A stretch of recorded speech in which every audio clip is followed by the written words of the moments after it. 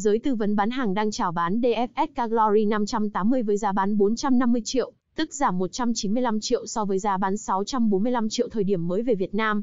Giá bán này chỉ ngang một số mẫu xe hạng A như Hyundai Grand i10 Sedan AT giá 455 triệu, dù Glory 580 thuộc phân khúc SUV hạng C 7 chỗ, cùng kích thước với Honda CR-V và Mitsubishi Outlander.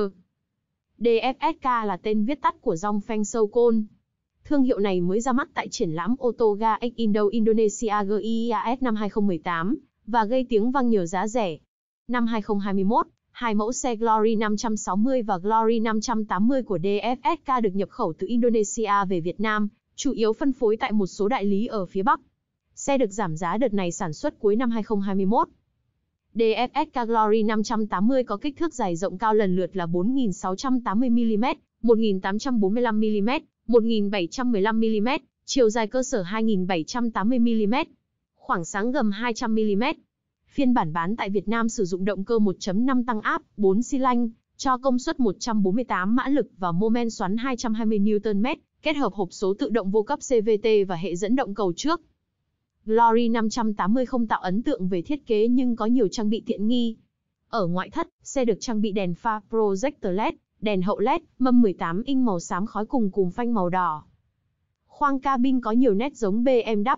Chính giữa bảng táp lô là màn hình giải trí cảm ứng 10 inch, kết hợp dàn âm thanh 6 loa. Vô lăng 3 chấu. Bảng đồng hồ sử dụng kết hợp hai đồng hồ analog và màn hình đa thông tin ở chính giữa. Ghế bọc da, ghế lái chỉnh điện 6 hướng, còn ghế phụ chỉnh tay 4 hướng.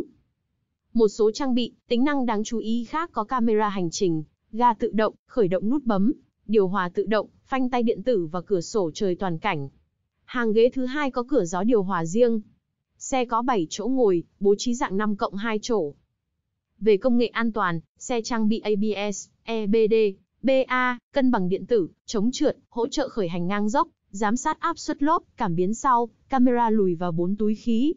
Nếu so với các mẫu SUV CUV hạng C Nhật, Hàn, Glory 580 thua thiệt vì không có gói công nghệ an toàn và hỗ trợ lái nâng cao ADAS.